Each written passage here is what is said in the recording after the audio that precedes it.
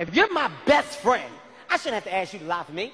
I shouldn't have to ask your permission for me to put you in my life. You know why? Because you're my best fucking friend, bitch. That's your job. The day that we sign up and say that we best friends, that means that my bullshit is your bullshit. And your bullshit is my bullshit. If you're my real best friend, you should know that I need you to lie for me by the look on my face. If I'm looking at you and I'm not blinking, if I'm like this, that's a goddamn sign. That means the bitch got to drop on us. My back is against the wall. This is not a test. It's the real deal. Help me.